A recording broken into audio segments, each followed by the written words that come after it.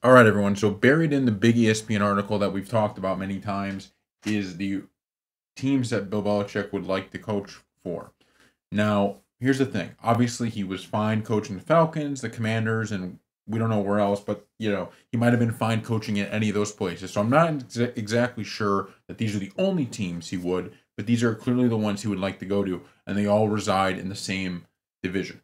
So the three teams are the Dallas Cowboys, the Philadelphia Eagles, and the New York Giants. So here's the story and why this is important.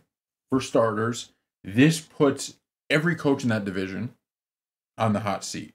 Or I should say, these three coaches in that division. The Commanders coach, probably not in the hot seat because they just hired him over Belichick. But these three coaches are now on the hot seat. You have in the Dallas Cowboys organization, McCarthy has not been extended. Jerry Jones made it very clear the reason why that was, and that they want to see some improvement before they extend him. If the Cowboys don't make a playoff run, McCarthy could be fired, and Bill Belichick could find his way to the Cowboys. Now, there have been reports about how that wouldn't really mesh together because Jerry Jones is a very hands on owner and Bill Belichick likes to have control over the organization. But it seems to me, and this is without any knowledge or anything, insider scoop or anything like that, this is just my personal opinion. But it seems like they would find a way to make it work out just because Jerry Jones would love the idea of bringing in someone like Bill Belichick, and Bill Belichick would say to that roster, Yes, let me coach that roster. I could do it better. So I think both situations, it works out well. Okay, the second team, the Philadelphia Eagles. Similar. The Eagles, you know, have Nick Sirianni, who, by the way, this is completely unfair in my view that he's on the hot seat. Same way I kind of feel about McCarthy, and we said this before.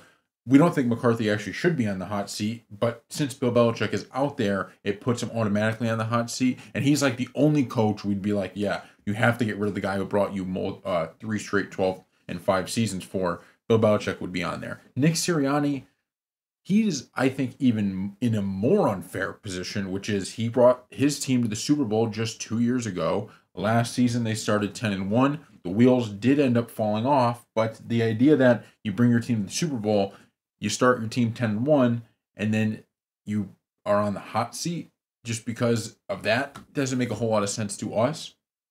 With that being said, Belichick would fit in wonderfully with the Eagles, similar to Dallas, where you would say, hey, team is full of talent. And because of that, you could, you know, this is what we've talked about. He needs to go to a team that is full of talent. Brady didn't go to a team that was rebuilding. He went to a team that, although they had not been great in the playoffs recently, and although they probably wouldn't have won a Super Bowl without him, they did have a ton of talent. Belichick needs to find a similar place. So those two are very similar, and I think very good situations for Bill Belichick to go to. The final one, the New York Giants, is a much different situation, but I think it's equally as good as the first two. Here's why. Bill Belichick obviously has a emotional tie to the Giants. He was the defensive coordinator on the Giants when they, you know, were winning Super Bowls with Lawrence Taylor and company, with Bill Parcells being the head coach. He always has talked about how you know he'll never kind of forget that time and how it's such an emotional thing for him. And honestly i think there's a chance that bill belichick could get the type of control he seeks with the giants. Now that would have to be joe schoen and brian daboll being let go but i don't think that's a crazy thing to to sense and even if schoen existed and was still the gm right on the giants with so they existed at the same time on the roster or in the I guess not really in the roster, but in the organization, maybe Belichick would still have more say um, in you know decisions like that. With that being said, similar to the Sirianni and McCarthy are points on that. I don't think it's fair that Daboll is on the hot seat. Look, Brian Daboll should not get criticized for the fact that he overachieved in his first season.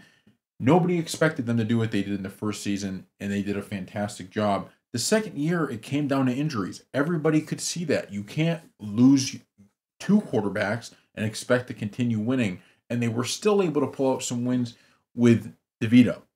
So, because of that, it's super unfair, I think, that Brian Daboll would be on the hot seat. But like we just said, if there's one coach who, uh, you know, you reasonably would think about getting rid of your good coach for, it would be Bill Belichick. Of course, all three of these teams have to kind of weigh the fact that Belichick is a short term, not a long term option. And that's why, for you know, Belichick's sake, I would say the Cowboys and the Eagles are probably the two better options because those are more win now rosters. Not that the Giants may be, make the playoffs this year. You know, I know a lot of people are way down on them. Personally, I'm not. If they can stay healthy, they added Brian Burns. They, they've made some additions. I think they could be okay, even though they lost Saquon.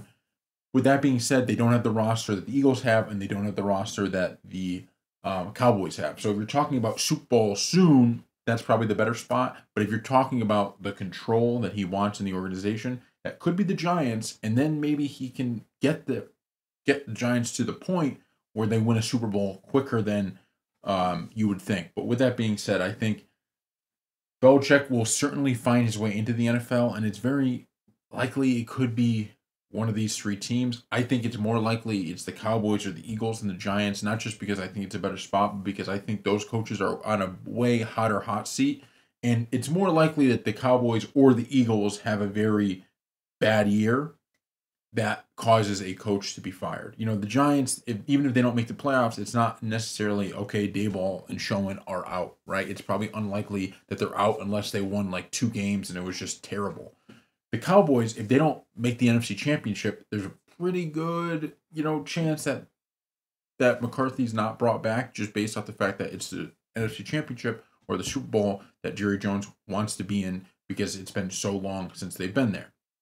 In the Eagles, it's similar. If the Eagles play like they did at the end of last year to begin this season, the hot seat is going to be hot on Sirianni, and he may end up there. So thank you all for watching, and we will see you next time.